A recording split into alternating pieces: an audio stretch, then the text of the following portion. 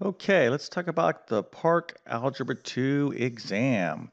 And what we're going to do in this video is take a look at a quick practice problem that you should be able to solve uh, hopefully rather easily if you, uh, you know, are kind of really uh, learned what you needed to learn in Algebra 2. So the PARCC uh, Algebra 2 exam is given in several states. So if you're in one of these particular states, you're probably uh, getting ready to take the PARCC Algebra 2 exam, and that's why you're watching this video. So anyways, welcome. And uh, before we get going, let me go ahead and introduce myself. My name is John. I'm the founder of TabletClass Math. I'm also a middle and high school math teacher and uh, over several uh, years constructed many online math courses. I actually offer a PARCC Algebra 2 test prep course. I'm going to leave a link to that in the description of this uh, video, something you can check out if you like. But um, purpose of this video is just a quick pop quiz, kind of you know see where you you know you're at in one small little uh, skill uh, that you learn in algebra 2 so in algebra 2 you learn a lot of material okay? Um, you learn about logarithms matrices uh, polynomial uh, equations, etc. These are very large topics. Functions is another one, rational expressions, etc., etc. So huge, huge amount of information. But um, you know, along the way, you can't you know forget how to do very basic type things. I would say probably one of the core skills that you uh, learn as a student in, algebra, whether it be pre-algebra, algebra one, algebra two is solving equations. And there's a lot of different type of equations that you solve. We solve system of equations, quadratic equations, linear equations, etc., radical equations. Um, and uh, so, you know, how you solve these equations are different. We just don't, there's not just one way to solve equations, right? So here I have a nice basic equation for you.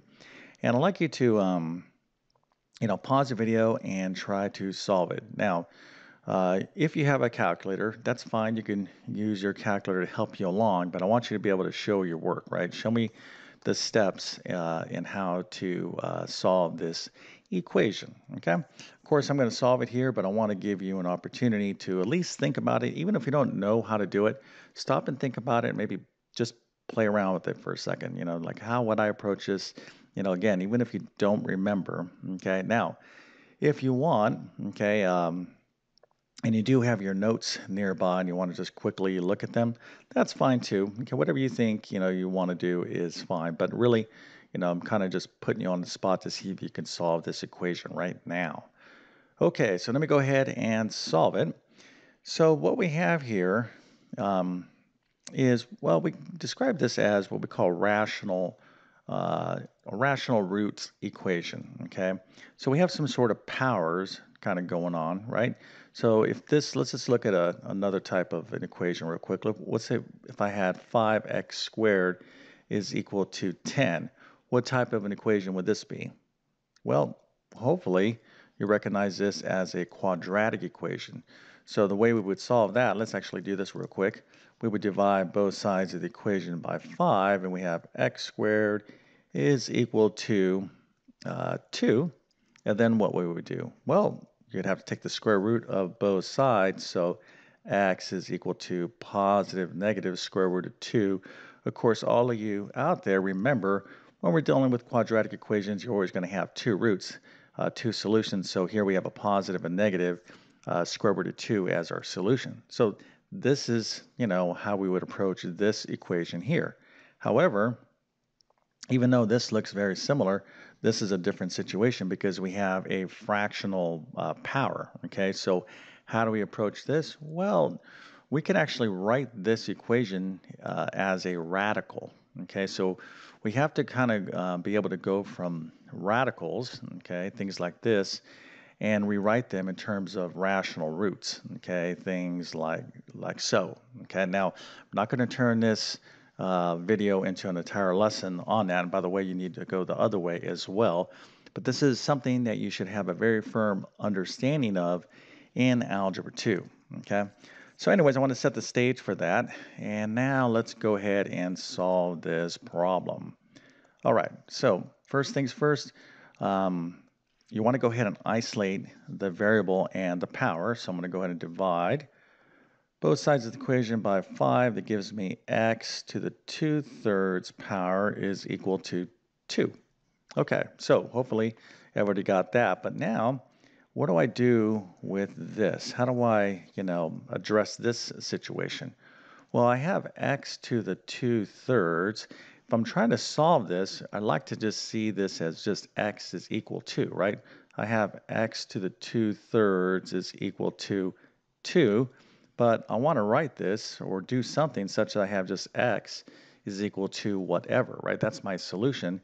But it's when you look at x, this is really x to the first power, okay? Of course, we just write this as x, but it's really x to the first power. So what I want to do is address this 2 thirds and do something to this x to the 2 thirds such that it turns out to be x to the first.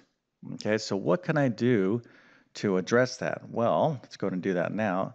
x to the 2 thirds power, if I multiply this power by 3 halves, what do I get? Well, this is going to be x to the 2 thirds. I distribute the 3 halves in there. I'm going to get x to the first. Okay, that's exactly what I'm looking to do. Okay, however, um, in algebra, as you well know, whatever I do to one side, I'm going to have to do the, the other side of the equation. So I'm going to have to take 2 and also raise it to the 3 halves power. Okay, so let's go ahead and do that now. So x to 2 thirds uh, raised or um, taken to the 3 halves power is going to be x to the first or just x. So now I have uh, that equaling to 2 to the 3 halves power. Okay, so what does that mean? Well, 2 to the 3 halves power, kind of look at it this way. That's the same thing as 2 to the 1 half, okay, raised to the third power. Okay, so 2 to the 1 half is the same thing as a square root of 2 cubed. All right, so that's one form of your answer. But if you, as uh, my student gave me this answer, I would go ahead and accept that. Now, of course, you can go into your calculator and take 2 and raise it to the 3 halves power. So let's go and do that now. 2 raised to the 3 halves power. I'm going to go ahead and show you something that is tremendously important. Hopefully you're still with me watching this video and you're going to be happy that you uh, um, stuck around because this is a place where many students make an error. So they'll go into their calculator and they'll go, okay, 2 to 3 halves uh, power. They'll go 2 to the, they'll take the little caret, right?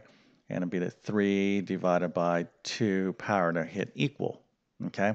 Well, if you did this, you're going to get the wrong answer, all right? So what, what is this saying right here? Okay, this is saying 2 to the third power divided by 2, okay? this is one of the most common mistakes that I see when people, uh, students are messing around with powers. Okay, so that is a big no-no. Okay, so when you do this, you're going to have to go to to the put parentheses. Okay, you must have that grouping symbol parentheses 3 divided by 2 parentheses and if you do that you're going to get the right answer okay so just because you have a calculator doesn't mean anything if you don't know how to use it uh, correctly. Okay, so anyways, hopefully you did pretty well uh, on this problem. Uh, even if you didn't get it completely right, if you kind of generally understood what was going on, that's excellent. And it's one thing too to watch me uh, solve the problem, like, oh yeah, I remember how to do that. But if you didn't remember how to do it before the problem, you know, before I answered it, you know, that's what it's all about. Okay. So remember, watching videos of people solve problems is not going to improve your math skills. You need to try the problems and then watch the solutions and uh, etc. Okay.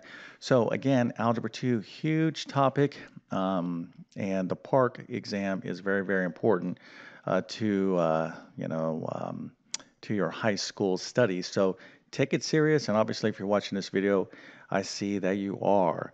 Okay, so let's go and wrap up this video now. Um, if you like my teaching style, hopefully consider subscribing to my YouTube channel. I have hundreds of videos currently on my channel that will help you out in Algebra 2. So, um, and I'm posting uh, new material all the time. If you enjoyed this video, definitely appreciate a thumbs up and leave me some feedback. How did you like Algebra 2? Did you struggle with it? Did you find it easy? You know, uh, do you like math? Do you don't like math? You know, etc. Any feedback is good feedback. And lastly, uh, again, as a reminder, I have a fantastic uh, PARCC Algebra 2 test prep course, super comprehensive. It's essentially all of Algebra 2. Um, you know, it's like a full complete course, but you know, uh, it's a huge amount of material. I'm going to leave a link to that in the description of this video. But as a reminder, remember, always listen to your teacher first, okay, and uh, take advantage of all uh, the test prep material that you're given in class. Okay, do that. But if you need something above and beyond uh, what you're getting uh, from school or from your teacher, if you feel like you have that need, then a course like mine could definitely serve you well. But anyways, with that being said, I definitely wish you all the best in your high school uh, studies. Okay, take it serious because it's going to be over pretty quickly. take for me, that was many, many decades ago. But uh, anyways, enjoy it. All this stuff is important. Thank you for your time and have a great day.